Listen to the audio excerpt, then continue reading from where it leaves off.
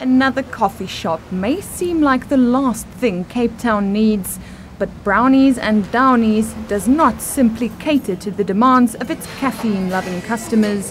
It also meets the special needs of its staff by offering young people with learning disabilities a chance to enter the world of work.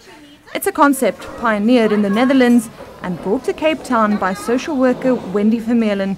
I want people to see that they can actually do it, that they are capable of so much more than what the community and, and people think they can do. We have quite a few who have worked before, but because they're autistic or Down syndrome or fetal alcohol syndrome, the business where they used to work for didn't want them anymore. That's the whole issue, is that the businesses don't know how to handle people with a disability, any disability really.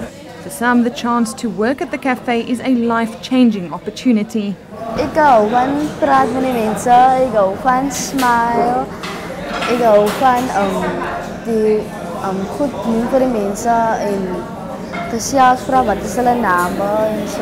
Their service is very good, you know, they- they're very sweet and they're very caring and, and they do absolutely amazing and they love it. And yes, they make mistakes, but I mean, any waiter who just starts a job, no matter if they have a disability or not, they, you know, they make mistakes. Vermeulen says most customers have welcomed the concept with open arms and they already have many regulars. No one took them serious, and now we do, and our customers do, and you can see them shine. You know, every time they come in here, they're oh, and they're so excited, and no, yeah, it's great. It's it's really great.